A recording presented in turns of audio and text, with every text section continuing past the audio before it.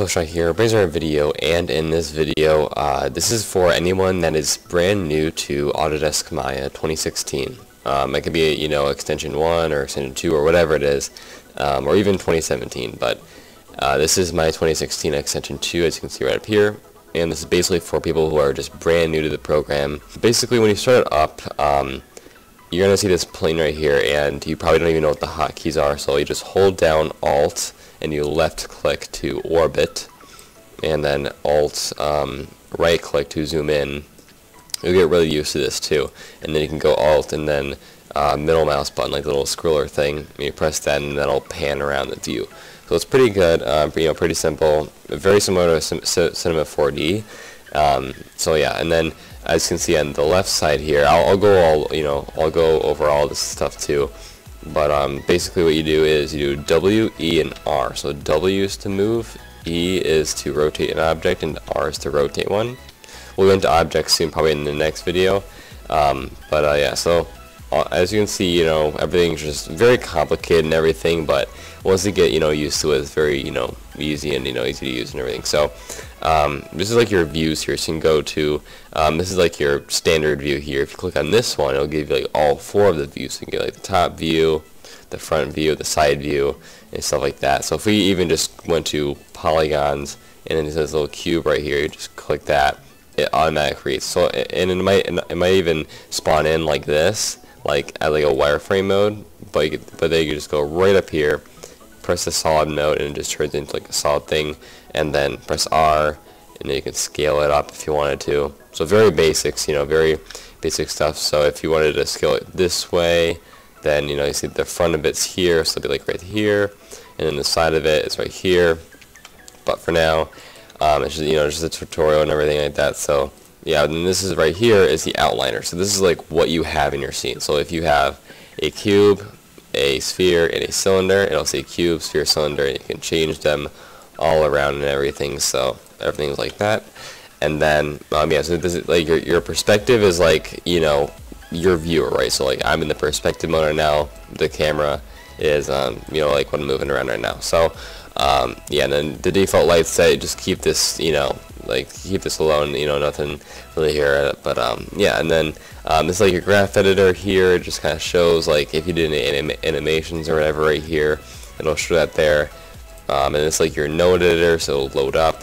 And then um, you know, this is like actually yeah, this is like your uh, um, this is your hypershade. So yeah, not yeah, not node. Editor, This is your hypershade. So hypershade is like your texturing kind of thing, right? So you have a ton of these. Kind of you know, chopped off in a way. But, um, yeah, so I have a ton of these. I go Lambert 1, all the texturing and everything, but I'll do that, you know, in, in another video.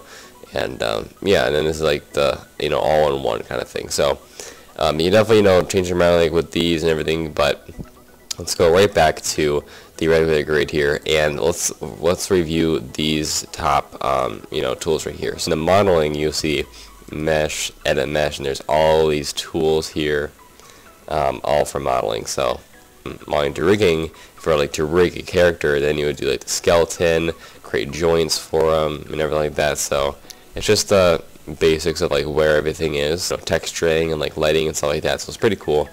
And then you can just do customize there.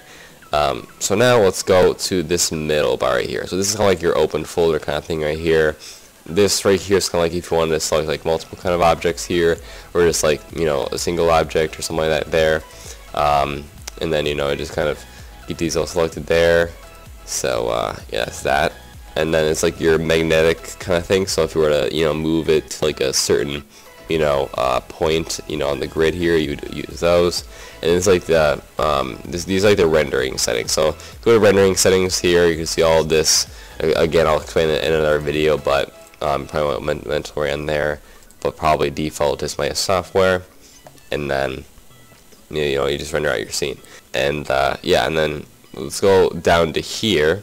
These are like your shelves. So you have curved surfaces, polygons, and you have all of your tools here.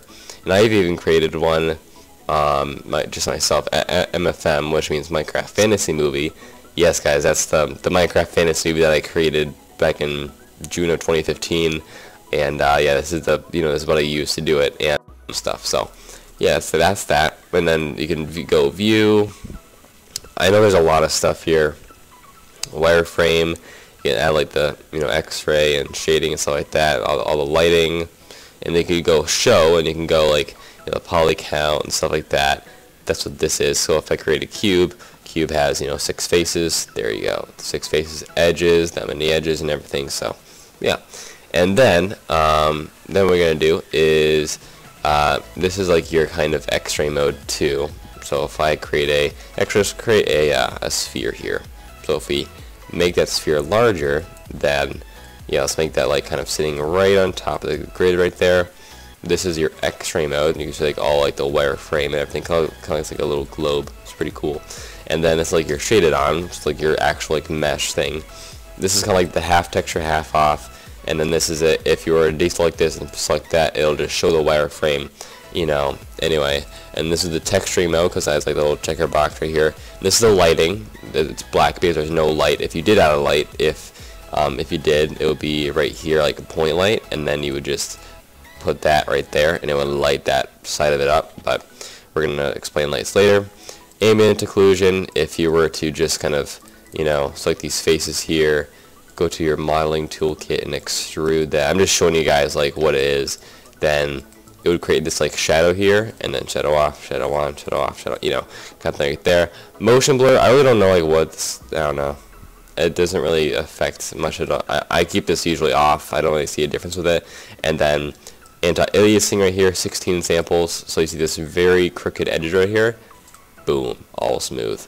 I use this a lot in my animation, just kind of like see smooth edges, but um, yeah, so that's pretty, that's pretty much that. So that's pretty much it and then there's you know there's X-ray mode, um, and then there's like you know some cool like exposure and like gamma stuff like that, and uh, yeah, and this is your attribute editor here.